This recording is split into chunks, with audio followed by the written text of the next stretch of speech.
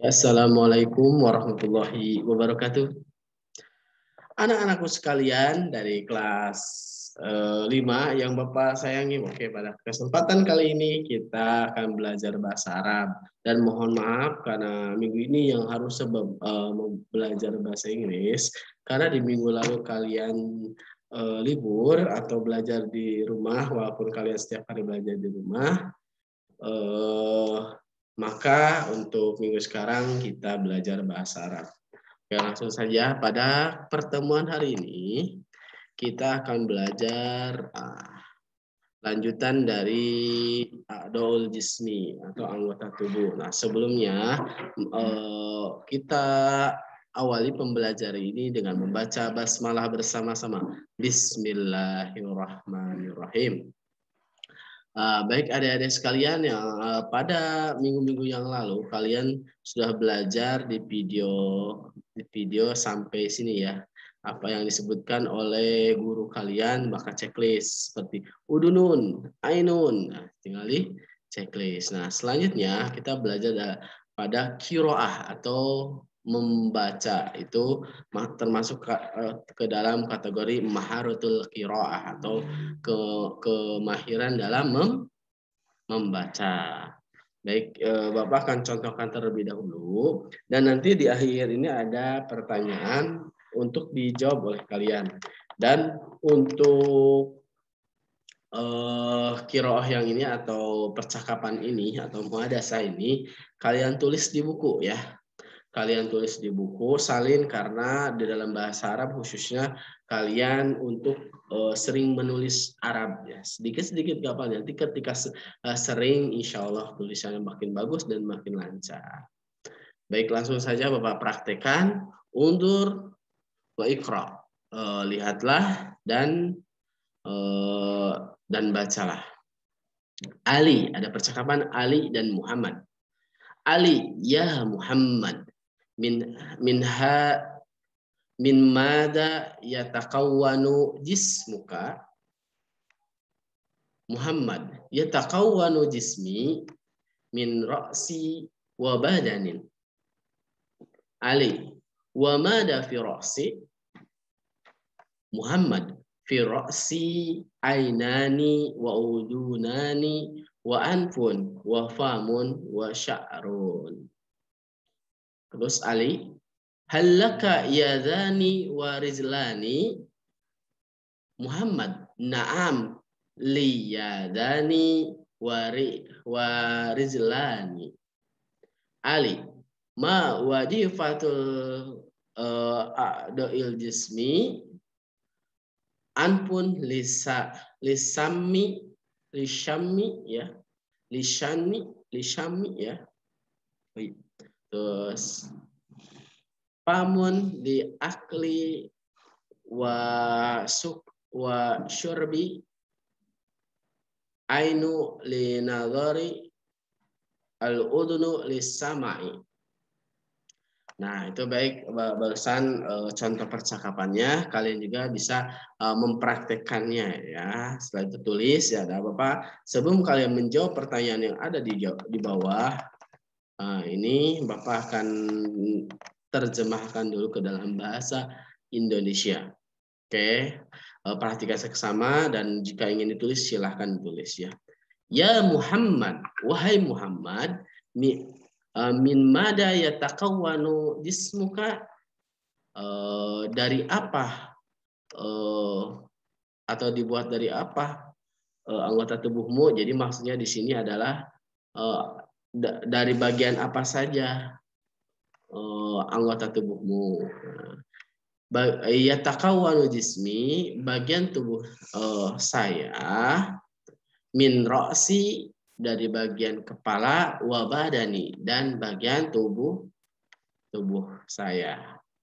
Aliun wa mada fi uh, dan apa uh, di dalam uh, kepala jadi ada apa saja di dalam kepala uh, Muhammad pirosi di dalam kepala ainani dua mata dua mata wa udunani dua hidung wa anfun eh, wa uh, dua telinga maaf ya udunani itu telinga dua telinga wa an pun uh, satu mulut eh satu hidung wa famun satu mulut wa sya'run dan rambut ya itu ya. Kemudian halaka yadani warizlani apakah kamu mempunyai dua tangan dan dua kaki? Naam ya liyadani saya memiliki dua tangan warizlani dan memiliki dua kaki. Alin ma wadifatul a'da'il jismi eh, apa fungsi dari anggota tubuh fungsinya apa saja gitu yang eh, terdapat pada uh, tubuh terus Muhammad menjawab anpun lisami hidung untuk mencium, pamun li aki wa surbi mulut untuk makan dan untuk minum. Ainun li nadari mata untuk melihat, udunun li samai uh, telinga untuk mendengar. Nah itu ya, udah Bapak artikan kemudian di sini baca teks dan jawablah pertanyaan berikut. Min mada yataqawwanul jismu Muhammad dari apa atau bagian apa yang terdapat pada uh, anggota tubuh Muhammad? Jawabannya, nah, silahkan tulis sama kalian, ya. Terus ya takawwanul jismu Muhammad. Nah, di situ di cakapan di atas ada ya. Nah, ini min roksi wa badani. Nah, itu jawabannya ya. Terus untuk yang kedua, aina taqaul udan udunani di mana letak dari udun uh, tako Oh ya, uh, di mana letak dari uh, telinga gitu ya. Letak dari telinga uh, ada di uh, takou ak at-takou ya. Akou udonani yumna wa yusro ya di sebelah kiri dan sebelah kanan uh, yusro ila roksun ya. Roksi kan oh, ya untuk saya sendiri ya. Ma wadifatul anfi. Apa fungsi dari uh, hidung? Nah, tadi ada di sini lis uh, an pun lisami ya, hidung untuk mencium. Hal ainun samai, apakah mata untuk mendengar? Nah, jawabannya, apakah itu untuk mendengar? Tidak. Itu untuk uh, ainun untuk apa? Untuk melihat. Berarti ai, ainun li di sini ada li nadori ya. Terus yang kelima, masmu udwi jismi alladhi linadori. Nah, apa nama anggota tubuh yang e, berfungsi sebagai melihat. Nah, tadi jawabannya sih berarti e, fungsinya adalah untuk adalah ainun yang berfungsi sebagai e, e, melihat adalah ainun atau mata. Oke, kita lanjut saja ke yang ini alamnya. Ya. Mari berucap sesuai gambar secara bersama-sama. Nah, sesuai gambar ini gambar ini gambar hidung, mulut, eh, kaki, ini kepala ya, kepala dan tangan. Li, li itu kepunyaan saya, laka itu kepunyaan dia. Atau kepunyaan kamu ya bukan dia. Kepunyaan kamu ya. Li. Li an pun berarti hidung apa? An pun eh, lian pun. Jadi lakaan pun. Terus lifamun laka famun.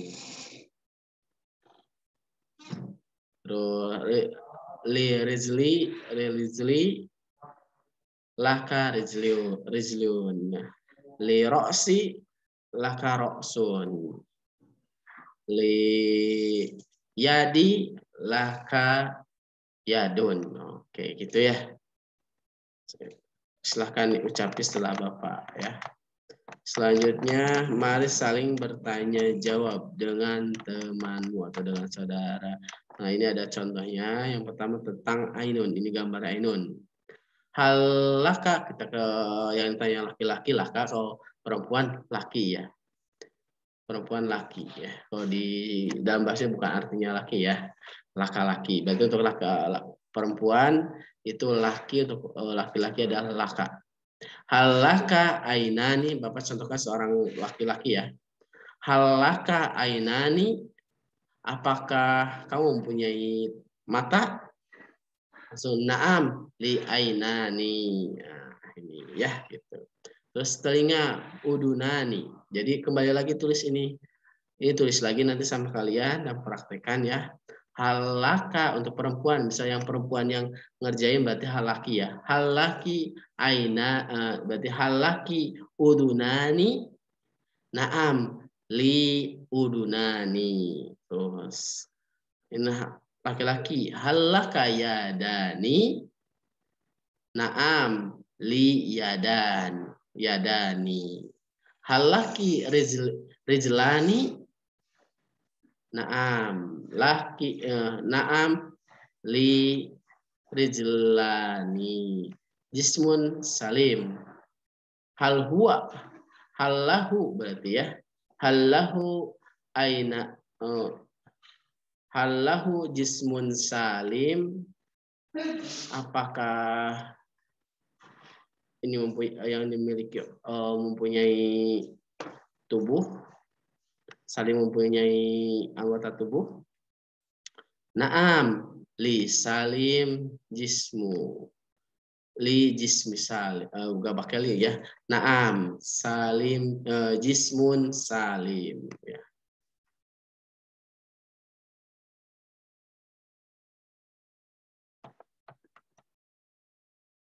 Kemudian untuk urutkan huruf-huruf lalu sambungan akan menjadi sebuah kata. Nah, ini juga uh, kalian ini kan ada beberapa ya ini kemungkinan ini adalah adalah sebuah kosakata. Nah, kalian susun dulu, udah susun baru uh, disambungkan ya. Seperti contoh yang itu misal ada alif, alif ladi, alif tanpa hamzah, ain, dho dan hamzah. Ketika disusun uh, menjadi a'dau bagian atau anggota. Ya, kan terus mim ja se. Oh, jadi jadi apa? Jis hmm itulah ismun. Oh, ain shin ro. Ya kira apa? Ya. Ya ain nun. Fa nun sin ma ain alif. Nah, kira-kira apa? Ya, itu oke. Okay. Bapak contohkan aja langsung ya yang ini.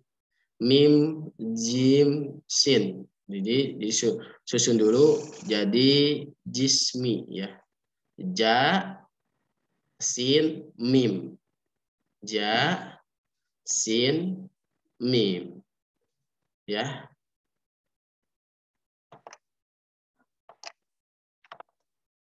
contoh oh, berarti ja sin mim. Jadi jismun ya. Kemudian nah itu ya contohnya. Kemudian yang ini juga ain sin ro. Jadi ro sun.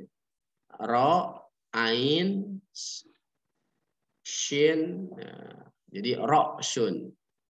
Nah, di sini tinggal uh, gabungkan ya. Ya, ain, nun, alif, nun. Jadi ain, ainani, ain, ain, ya, nun, a, alif, langsung nun. Terus yang keempat, anfun. Jadi ain, fa sama nun. Ain, fa sama nun. Nanti di sini tinggal sambungkan ya. Terus sa mim a. Jadi eh, sama ini ya. Sami'a ya. Untuk eh, mendengar berarti ya, kemampuan eh, mendengar ya. Kemudian untuk mari menulis kalimat sesuai gambar di atas.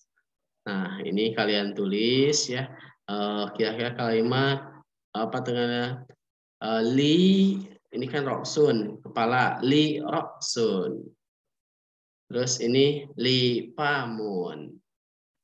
Atau bisa juga hal halaka pamun. Ya halaka uh, pamun. Halaka udunun bisa. Ya yang penting kalimat boleh pertanyaan boleh enggak ya? Ini jismun salim boleh. Di sini ya Hada udhurun. Ya. ya, hada anfun. Ya. Terus uh, ainani, hadhihi ainun. Karena satu jadi ainun. Ya. Kemudian itu. Nah, ini urutan kata berikut agar menjadi sebuah kalimat. Nah, ini tinggal disusun aja ini sebuah kalimat. Iya, ternyata itu yang terakhir ya. Nah,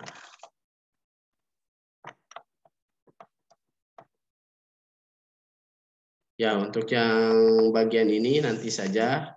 Yang paling bawah itu gak usah dikerjakan. Kerjakan ini tanpa dibantu oleh Bapak. Silahkan kalian susun ya. Uh, ya Bapak, Bapak contohkan yang pertama ya, ada wa udunani, terus pi roksi ainani. Nah, jadi ini biasa diawali dengan pi ya kalau ini. Pi roksi ainani wa udunani. Di dalam kepala saya, di dalam kepala ada mata dan telinga. Terus li akli pamun wa surbi. Ini kira-kira apa susunannya ya? Uh, bil bi aini samun wa nadori bil anpi. Ya, ini fungsi-fungsinya ya, fungsi-fungsi dari uh, anggota tubuh yang disebutkan ya. Di sini ada ainun sama anfun ya. Kira-kira yang berpasangan dengan ini yang mana? Tinggal disusun aja di sini ya fi wa sya'run anpun wajhun. Ah, kira-kira ini apa? Biasa hampir sama ya dengan ini ya nomor satu. Kok jika kalian jeli tinggal di tinggal disusun. Yang kelima jismi ismi Sulaiman hadza ah, kira-kira mana? Ah. Jadi tinggal eh, susun aja ya. Uh, Oke, okay, dari Bapak mungkin uh, sekian. Semua kalian bisa belajar dengan baik. Jika ada kekurangan, Bapak mohon maaf uh, atas kekurangan Bapak. Uh, kita sama-sama belajar. Untuk kalian juga tetap semangat belajar di rumah. Nah ini nanti nanti ditulis dan untuk sekali lagi tugasnya berarti tadi udah dijelaskan dari awal ya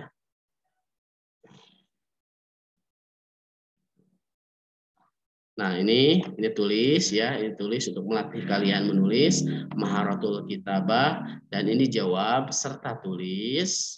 Kemudian eh, oh yang ini. Nah, untuk ini mungkin nggak perlu ditulis tapi kalian eh, tapi ditulis juga boleh ya untuk kalian bisa dan gambarnya nggak perlu digambar langsung tulis aja hidung-hidung, mulut-mulut, kaki-kaki, eh, kepala-kepala seperti itu aja ya.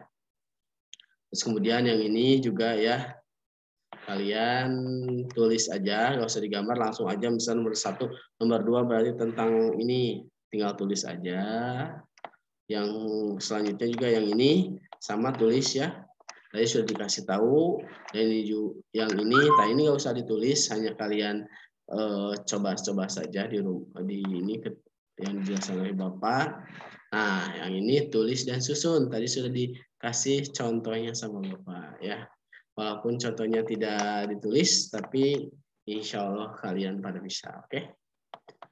Oh, dan untuk yang terakhir ini nggak perlu ya, eh, nggak perlu ditulis. Ya, nanti ini hanya membuat lima kalimat ya tentang gambar berikut. Jadi mungkin takutnya kalian eh, kesusahan dan terlalu banyak juga ya cukup itu aja. Terus hasilnya kirim ke bapak. Lewat japri saja. Dan waktunya lama hanya satu minggu ingat ya satu minggu gunakan waktu sebaik-baiknya dan kirim ke bapak ke bapak. Oke. Eh, dari bapak cukup sekian. Wassalamualaikum warahmatullahi wabarakatuh